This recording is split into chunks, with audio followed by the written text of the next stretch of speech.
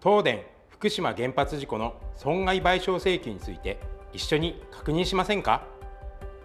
どうもなすびです。賠償が全部済んでいるかわからない。賠償額や内容に納得できない。そんな方たちのために NDF と ADR センターの活動をご紹介したいと思います。それぞれ福島県の内外で無料相談会や説明会を実施しています。それでは最初に NDF の無料相談に伺ってみましょう。NDF は賠償についての悩みや疑問に答えてくれるとお聞きしたんですがどんなことを相談できるんでしょうか？はい。例えば請求してない損害があるが手続きの方法がわからない。請求漏れがないか相談したいなど原発事故による損害賠償のお困りごとであれば何でもご相談いただけます。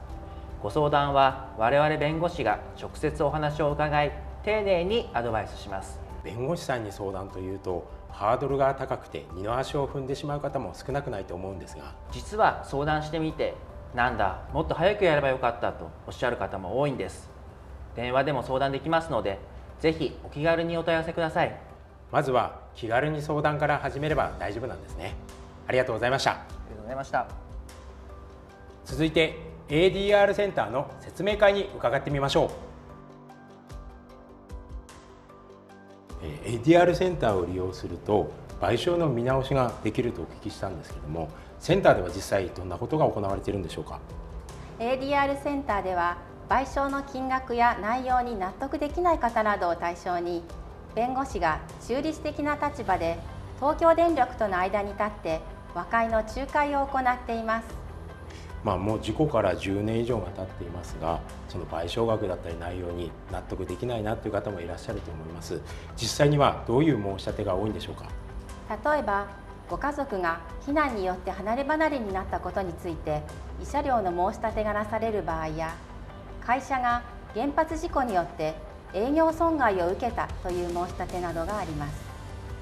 当時の書類のような証拠がなくてもお話をよく伺って損害を認定できることもあります。そういう場合でも賠償の対象になる可能性はあるんですね。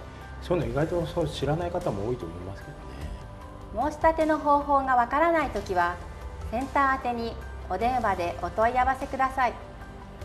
また福島県やその他の自治体で説明会も実施しております。